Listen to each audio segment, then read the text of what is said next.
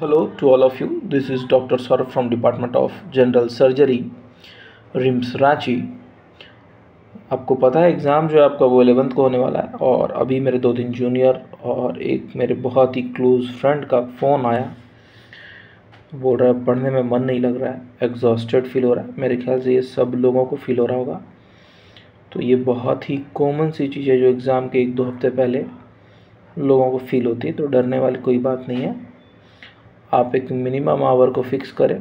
वो four hour हो सकता है थ्री आवर हो सकता है सिक्स आवर हो सकता है सेवन आवर हो सकता है।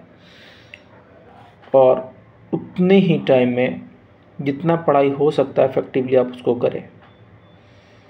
फॉर नेक्स्ट वन वीक क्योंकि आज जो डेट है दैट इज़ एट अगस्त तीन से चार दिन है ना?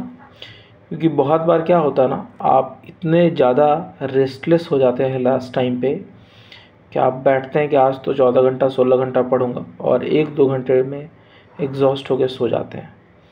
तो मेरी यही आपसे सलाह रहेगी, एक ऑप्टिमम आवर की बात करें तो six to eight hour is more than enough और छः से आठ घंटे बिना कोई टेंशन के पढ़ाई करें। लास्ट टाइम में कोशिश करें, जो प्रीवियस ईयर क्वेश्चन है, वो वाला टॉपिक ना छूटे। अगर वो टॉपिक अभी भी कमज़ोर है अभी भी बहुत टाइम है एक टॉपिक को स्ट्रॉन्ग करने में max to max half an hour लगता है। उसके डिटेल को पढ़ने में पंद्रह मिनट लगता है और पंद्रह मिनट कॉन्सेप्ट को ग्रेस्प करने में। तो आप वो क्वेश्चन जा के सही कर सकते हैं। इसलिए पैनिक बिल्कुल भी ना करें। पैनिक होइएगा। मैंने अपना नीट यूजी का रिज़ल्ट इसी पैनिक अटैक की वजह से बहुत ही गड़बड़ कर दिया था। प्रिपरेशन बहुत अच्छी थी ग्रेड टेस्ट में बहुत अच्छा मार्क्स आता था। बट मेन जो मेरा एग्ज़ाम था, उसमें बहुत ही गंदा आया था उसके कंपैरिजन में।